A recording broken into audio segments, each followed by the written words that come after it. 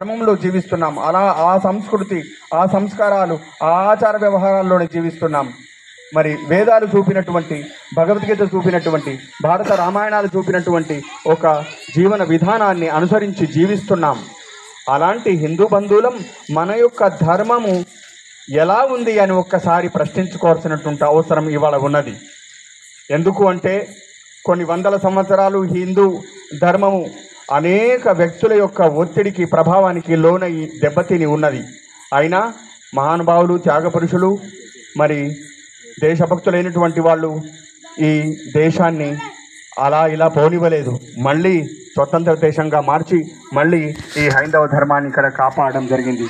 అందువల్లనే మనం హిందూ ధర్మంలో చాలా గొప్పగా మనం జీవనం సాగిస్తూ ఉన్నాం. అయితే ఎందుకు హిందూ ధర్మం గురించి ఆలోచించాల్సిన అవసరం ఉన్నది అంటే హిందూ ధర్మము కానటువంటి వాళ్ళు ఈ ధర్మానికి శత్రువులైనటువంటి వాళ్ళు ఈ ధర్మానికి అనేక ఇబ్బందులు కలగజేస్తున్నారు.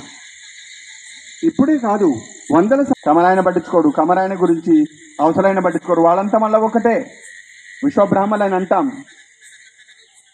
అలాగే ఒక తెలుగతను ఉన్నట్టయితే కుమరాయన పట్టించుకోడు కుమరతను ఉన్నట్టయితే ఇంకొక రెడ్డి పట్టించుకోడు. రెడ్డి గురించి రావు పట్టించుకోడు. రావు గురించి బ్రాహ్మడు పట్టించుకోడు. బ్రాహ్మడి గురించి కో- వైశ్యులు కోమటోళ్ళు పట్టించుకోరు.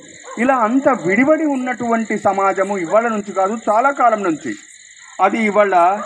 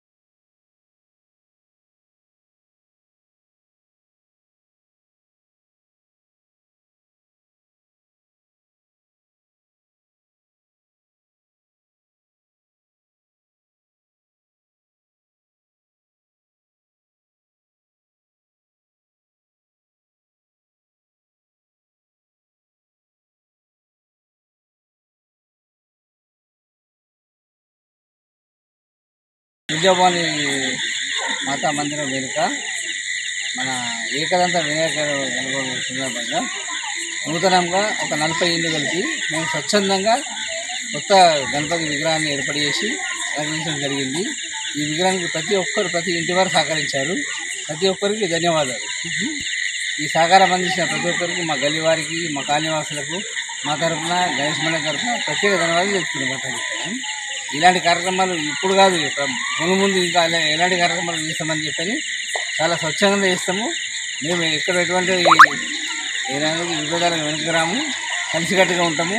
రోడ్డు మంచిగా చేసుకుంటాము ప్రాబ్లమ్స్ రోడ్డు ప్రాబ్లమ్స్ ఉంది డ్రైనేజ్ ప్రాబ్లమ్స్ ఉంది ఇవన్నీ సాధించుకుంటాం అట్లా అని చెప్పని చెప్పాను చెప్పని ఈ స్వచ్ఛందంగా ఈ కార్యక్రమాలను వినియోగించుకుంటామని చెప్పని స్వచ్ఛందంగా కోరుతున్నాం.